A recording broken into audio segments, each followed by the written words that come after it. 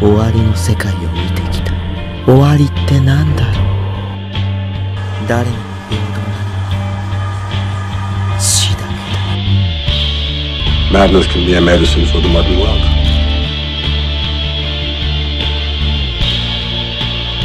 Killing must feel good to God, too. He does it all the time.